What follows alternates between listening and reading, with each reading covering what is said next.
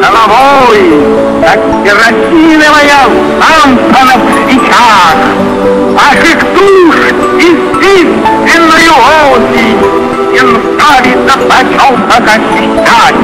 Привет, меня зовут Оля Понедельник, и это моя книжная полка. И сегодня, хотя может быть это звучит немного странно, мы поговорим о поэзии. Не так давно я прочла сборник стихов Сергея Есенина. Это был не просто сборник стихов, а также поэм, рассказов. Для меня Сергей Есенин самый любимый поэт. Наверное, единственный поэт, которого я могу временами перечитывать. Особо примечательно, что в начале сборника дана краткая автобиография Сергея Есенина, написанная им самим. Было очень интересно ее читать, и уже тогда я подумала, что, возможно, проза Сергея Есенина мне понравится даже больше, чем его стихи. Проза была представлена в конце сборника, и честно я скажу, что получила огромное удовольствие от ее прочтения.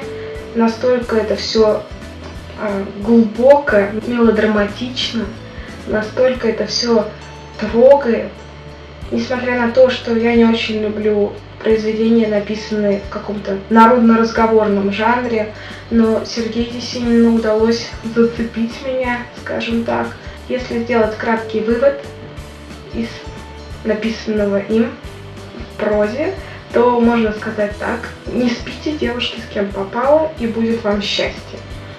Потому что герои Сергея Есенина кончают не очень хорошо. Как мы все знаем, возможно, еще даже из школьной программы, Сергей Есенин родился в 1895 году и умер в 1925, прожив всего 30 лет. Самый загадочный момент его жизни – это его смерть, как бы не парадоксально это звучало, потому что раньше, когда я еще училась в школе, было принято считать, что неизвестно, покончил ли он сам с собой, или это таинственные спецслужбы инсценировали самоубийство. Тем не менее, когда я сейчас полезла искать биографию Сергея Есенина, ней черным по белому было написано, что это была инсценировка самоубийства.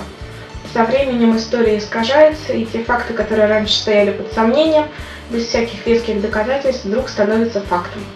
Одновременно, вместе с положительными сторонами поэта, я открыла кое-какие его недостатки.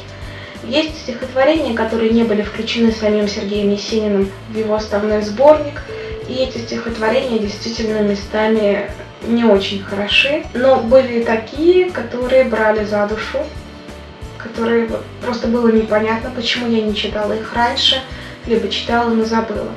Я не знаю, как Сергею Есенину удается создавать такие яркие, насыщенные образы, которые сразу возникают перед глазами. В советские времена он был так и известен, народный поэт.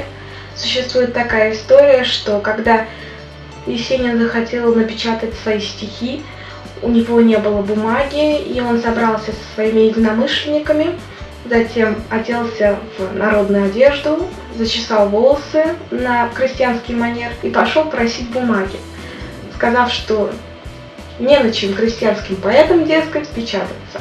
Так ему дали бумагу, и так вышел его первый сборник «Радуница». К тому же Сергей Есенин действительно очень красивый мужчина. Если вы посмотрите на его фотографии, на хронику, которая сохранилась, действительно в нем есть что-то такое простое, народное, и в то же время что-то такое неуловимо грациозное, аристократическое. Мне нравится, что он сам создал себе образ в своих стихах, что он все время сам о себе говорил, какие-то негативные, может быть, в каком-то смысле вещи, о том, что он повеса, пьяница, но мы сейчас это уже не воспринимаем как что-то негативное. Еще я заметила такую особенность, что к 25 году, как раз к году смерти поэта, у него появилось в стихах очень много мотивов смерти, какого-то ухода из жизни. И при прочтении даже кажется, как будто он чувствовал, что он уже скоро уйдет. И от этого мурашки бежали по спине. Особенно я рада тому, что открыла для себя поэму «Страна негодяев». Точнее, это так драматическая поэма.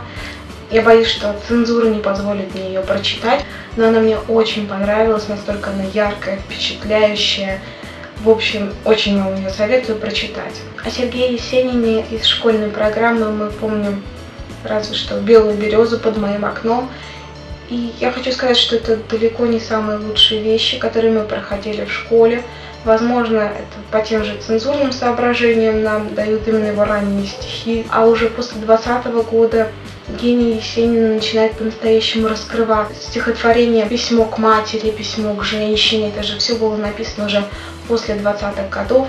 Те же персидские мотивы, которые мы так старательно учили в школе. Я скажу честно, я переоткрыла для себя этого поэта заново, и я очень советую вам с ним хотя бы познакомиться, потому что я не очень люблю русскую классику, но некоторые авторы берут меня действительно заживо и не отпускают до самой последней страницы. Я вам очень советую.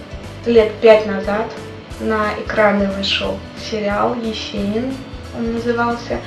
Мне на самом деле очень понравилось, как сыграл Сергей Безруков. Несмотря на то, что многие осуждают этого актера, он сыграл уже стольких великих поэтов. Я действительно уважаю его игру и считаю, что он сыграл очень достоверно и что как актер он довольно одаренный. А на сегодня все. Спасибо, что вы провели со мной эти несколько минут. Я вам очень признательна. Надеюсь, вы, может быть, открыли для себя что-то новое или решили вспомнить что-то старое. В любом случае, я вас очень люблю. Всегда ваша книжная полка.